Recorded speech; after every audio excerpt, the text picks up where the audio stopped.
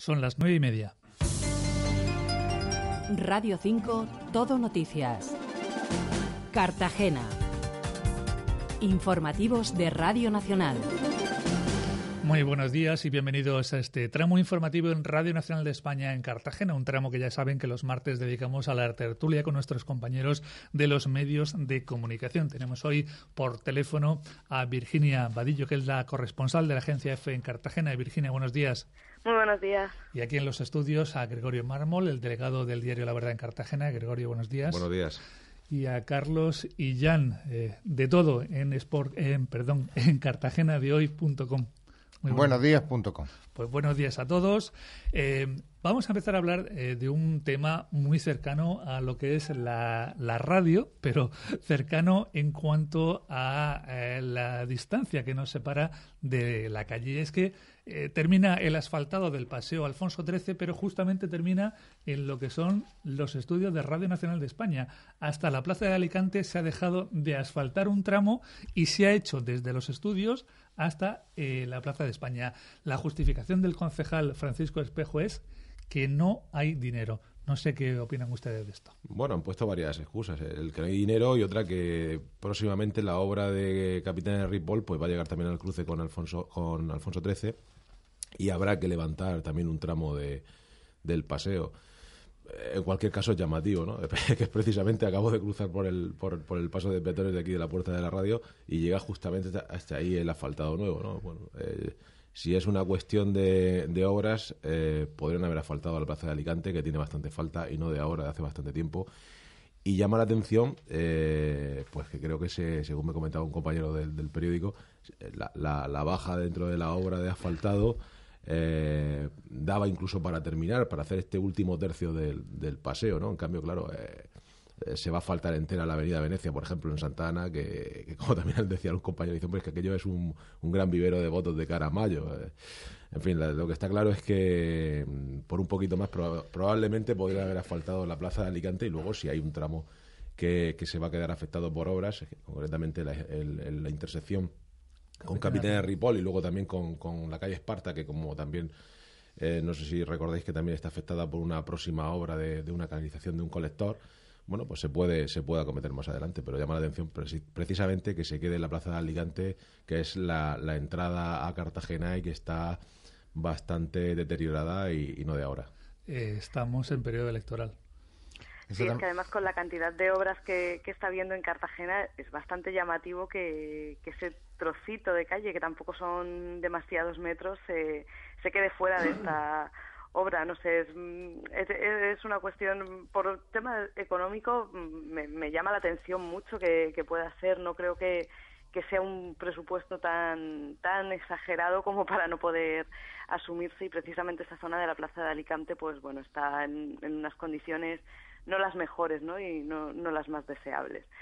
Mm, veremos, veremos si al final es cierto que cuando llegue a la zona de Capitanes Ripoll quizás después se pueda, se pueda alargar un poco más esa, esas mejoras, no lo sé. Eh, hay una tercera interpretación a lo que habéis dicho.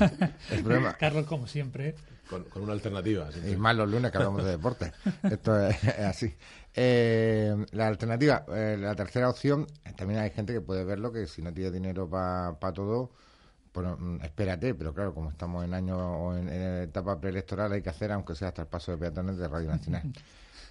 Yo lo, Por lo menos ha llegado hasta la puerta, Nico. Hasta la puerta, hasta la puerta. Yo, de todas formas, lo que digo, por lo que ha dicho Gregorio, que lo de Avenida Venecia del Polígono Santa Ana, que de todas formas para algo que se invierte en varios y diputaciones, aunque haya muchos votos en el Polígono Santa Ana, que sí. reconozco que el, el, el, y el acceso al campus de la UCAN también, que también, también no, no, no, lo que, hay, lo, van a arreglar. No, pero a mí todo eso no me molesta, lo que quiero es que también sigan con los demás barrios.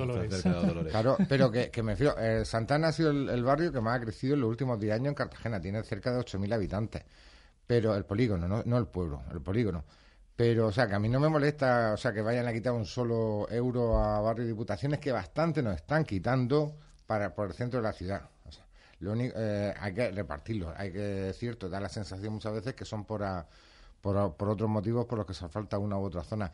Y lo de aquí, pues, pues, pues tiene un montón de interpretaciones, pero curioso y llamativo si es, quizás ha sido le ha faltado más que más ha llamado la atención de los últimos tiempos en Cartagena? Eh, decía Gregorio que es la entrada a Cartagena, a la plaza de Alicante, pero bueno, el paseo es que además se debería haber reformado casi en su totalidad, porque desde hace muchísimo tiempo, además de que no estaba asfaltado y había bache en todo el trazado, pero lo que es la mediana, por ejemplo, es una sensación un poco de dejadez. ¿no? A mí, por ejemplo, me llama la atención un poco la desorganización que ha habido con el tema de las obras en, en, la, en la última década. Hemos visto, por ejemplo, obras en dos ocasiones distintas en, calles como la Puerta de Murcia, que sí, que es el eje peatonal, muy céntrico, un gran escaparate para Cartagena, o por ejemplo la, la, zona de la Serreta, donde se ha invertido mucho dinero.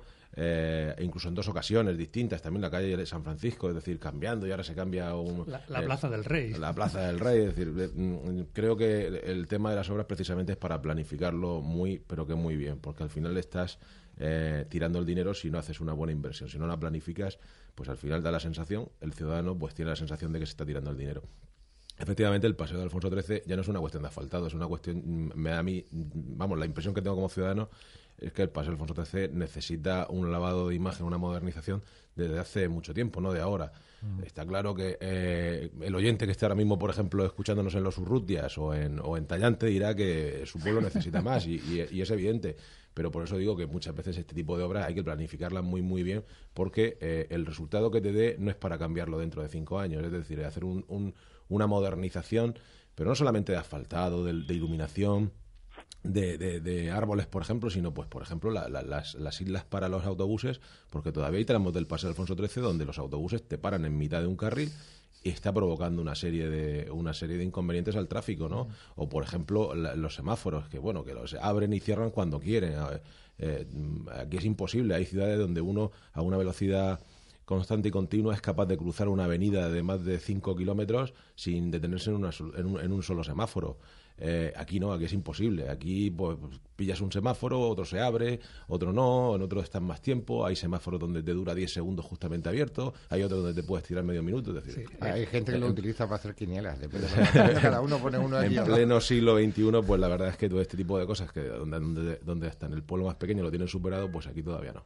Eh, además, eh, el otro día leía, ya enlazando con lo que dice Gregorio, que dependiendo del consejero que haya en obras públicas, eh, hacen una cosa u otra con respecto a los autobuses, por ejemplo, con, el tema de los semáforos, ¿no? Y con, con el tema de, de, las paradas, de cuándo va a venir el siguiente autobús, que se puso en marcha con un consejero, luego ha cambiado otro, dedican a otra cosa. Es decir, que quizás debería ser, eh, Virginia, una, entre comillas, pacto de Estado entre comunidad autónoma y ayuntamiento, el hacer cosas en cuanto a infraestructuras en, la ciudad, ¿no?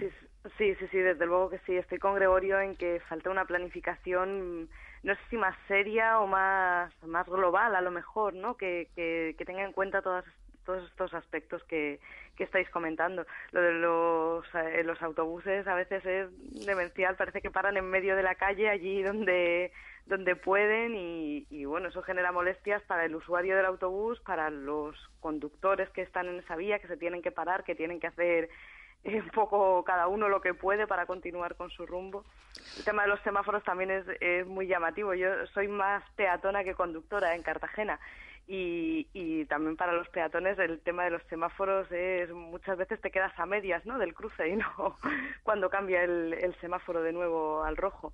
Y, ahora una planificación más, más global, diría yo. Y ahora, Carlos, le viene también al concejal el apretón que le va a dar la concejala de, Hacienda, porque ya planifican para lo que queda del próximo año y vamos a ver qué dinero se dedica a infraestructuras.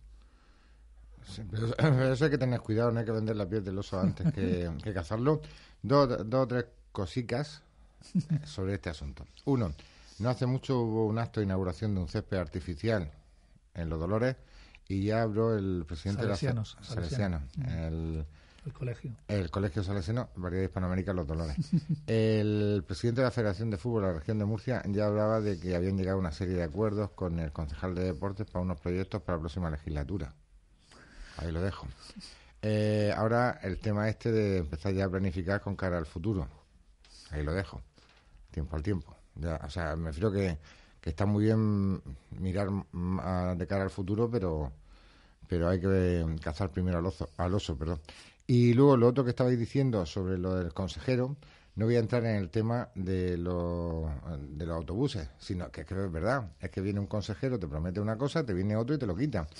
Hace un, dos semanas publicábamos en la unión de hoy.com el tema de que se creó el Centro de Salud de la Unión. Estuvo la consejera entonces que prometió un servicio de radiología y para que los vecinos no tuvieran que desplazarse al Hospital de Santa Lucía y demás para, hacerse los rayos X y que como ha cambiado de consejero, nos decía un portavoz de, de Sanidad, pues entonces ya el compromiso ha desaparecido. Triste. Pues de la Unión vamos a hablar ahora porque precisamente uno de los temas que va a estar también en Candelero estos próximos días va a ser otra vez la regeneración de la bahía de Portman, ese manido tema, y el puerto del Gorguel. Hoy en el diario La Verdad hay una entrevista al nuevo alcalde de la Unión, a Julio García de Garra, y dice que seguro, seguro que en el Gorguel no va a haber ese puerto o ese macropuerto o esa dársena del puerto de Cartagena. Bueno, quizás hasta que le hagan consejero, ¿no? Porque eso también decía Francisco Bernabé hasta que ha cambiado de cargo. Sí, hombre, lo, que pasa es que, bueno, si, si no se hace en el Gorguel no va a ser porque lo diga el alcalde de la Unión o el, alcalde de Caravaca. Es decir, ni será una cuestión ahí la, la principal amenaza de ese proyecto eh, ya, yo creo que ya ni siquiera es Europa, porque hasta ahora se decía que eh, tendrá que venir Europa y decidir sobre ese proyecto. Yo creo que la, ahora mismo eh, quienes ya no creen en ese proyecto es, el propio Ejecutivo Regional. hasta ahora sostenía ese proyecto Adrián Ángel Viude siendo presidente del organismo portuario. Antonio Sevilla, desde luego, si me, si me escucha, va a decir que no, que él también.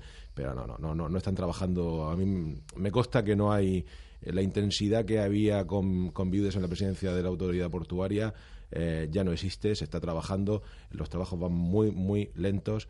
Eh, esperan incluso, hay personas que en el gobierno regional a mí me han, me han confesado que esperan que incluso la Unión Europea sea una buena excusa para que no salga ese proyecto adelante. Yo eso ahí lo tengo clarísimo. Luego las alternativas, pues la autoridad portuaria ha, ha, estudiado las alternativas posibles y, según esos trabajos no hay ninguna. Según esos trabajos, ¿eh? no, luego habrá que ver, habría que ver también otros otros otros técnicos que sepan de, este asunto. ¿no? Lo que está claro es que el, proyecto del Gorguel yo lo veo cada vez más más lejos. Yo creo que el Gorguel no creo que no va a salir. creo que lo de Portman tampoco va a salir. Luego, cuando vengan los hechos que me demuestren lo contrario, porque ahora tenéis esperanzas para que luego cada dos por tres haya un revés, más vale hacerlo a la inversa. En el, perdón, en el tema este me remito a mi respuesta anterior. Cuando cambiamos de consejero, las cosas pueden cambiar en la línea de una consejería, aunque públicamente se diga otra cosa. Y respecto a la ubicación o no en el Gorguel como lugar ideal para la dársena, si yo quiero que sea en el Gorguel, ya haré informes para que me digan que donde yo creo que tiene que ser el mejor sitio. Si no quiero que sea ahí, será al contrario. Yo creo que al final, al final tendrán que buscar un consenso general para estar de acuerdo en un sitio y entonces cuando de verdad podrá ir adelante. Mientras tanto, yo, según lo que piense, así tengo los informes. Eh, nuestros dos últimos minutos para otro tema. Aeropuerto, Cartagena de fútbol, que hoy es lunes. Aeropuerto de Corbera Hoy la eurodiputada Lola Sánchez lleva a una serie de trabajadores de San Javier para que se opongan al aeropuerto de Corbera.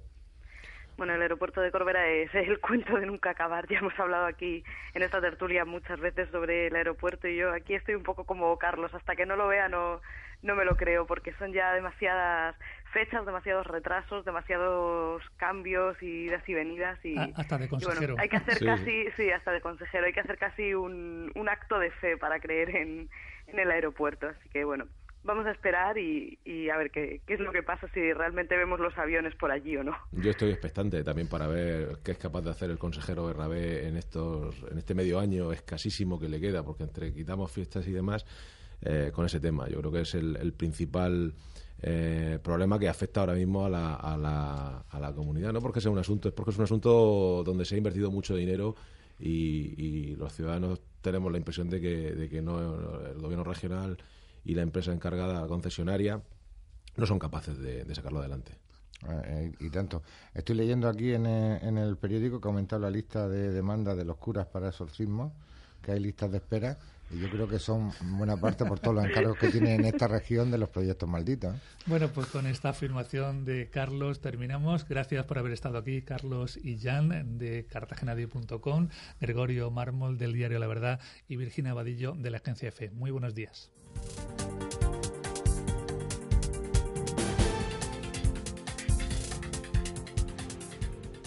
Diez menos cuarto, nueve menos cuarto en Canarias.